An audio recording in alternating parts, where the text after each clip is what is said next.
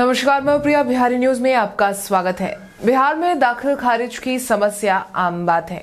ज़मीन संबंधी मामलों को लेकर बिहार में आए दिन कई आपराधिक घटनाओं की जानकारी भी सामने आती रही है। यही कारण है कि बिहार सरकार ज़मीन संबंधी मामलों के निपटारे की व्यवस्था को लगातार बदलने का काम करती रही है। इसी कड़ी में अब एक बार फिर से ज़मीन दाखिल खारिज की व्यवस्था को बदलने का निर्णय लिया गया है। यानी कि अब आपके ज़मीन की दाखिल खारिज का काम बदले हुए व्यवस्था के तहत होगा, क्योंकि अब बिहार सरकार राजस्व अधिकारियों का अधिकार क्षेत्र बड़ा करने जा रही है, जिसके तहत अब अंचल अधिकारियों के साथ साथ खारिज करने का अधिकार राजस्व अधिकारियों को भी देने पर विचार विमर्श किया जा रहा है। जानकारों की माने तो बिहार में दाखिल खारिज यानी म्यूटेशन को लेकर यह नई व्यवस्था जल्द ही लागू कर दी जाएगी। क्योंकि यह बात खुद राजस्व एवं भूमि सुधार विभाग के मंत्री राम सूरत राय ने कही है, जो कि उन्होंने एक डेवलपमेंट प्रोग्राम के दौरान की।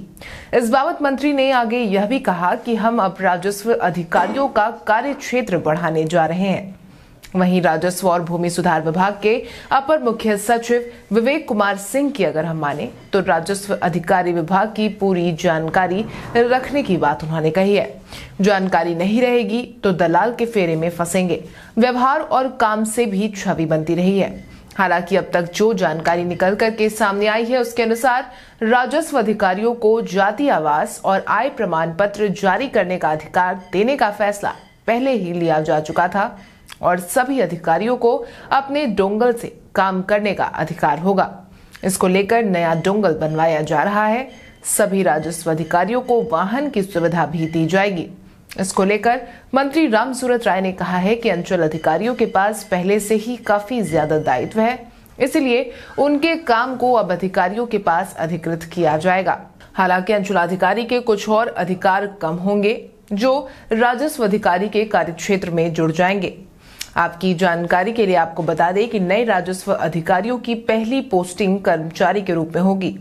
यह काम उन्हें तीन से छह महीने तक करना होगा।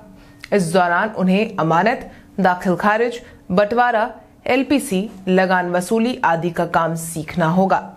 अमीन से उन्हें ज़मीन की मापी का काम सीखना है। यह व्यवहारिक प्रशिक्षण का हिस्सा होगा।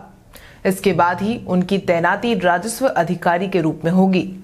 अधिकारियों का प्रशिक्षण 25 नवंबर से एक महीने तक चलेगा।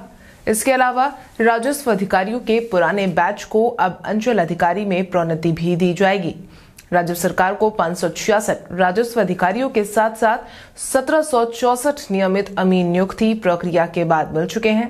इस महीने आठ सौ अड़सठ विभाग को 4,400 राजस्व कर्मचारी मिल जाएँगे जिसके बाद अब बिहार सरकार के इस नए व्यवस्था के तहत बिहार में जमीनों के दाखिल खारिज मामले के जल्द से जल्द निपटारे को लेकर सहूलियत होगी। साथ ही दो दो विभागों के पास काम होने के कारण इस मामले में पारदर्शिता आने की भी उम्मीद जताई जा रही है। क्योंकि अक्सर ऐसा देखा गया है कि ज़मीन विवाद को लेकर तनाव की स्थिति परिवारों के बीच बनी हुई है।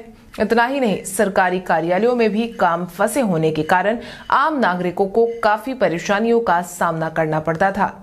लेकिन अब ऐसा नहीं होगा, क्योंकि दाखिल खारिज के निपटारे को लेकर बिहार में नई व्यवस्था लागू होने की उम्मीद जताई जा रही है। इसके साथ ही आज के इस वीडियो में बस इतना ही। तब तक के लिए धन्यवाद।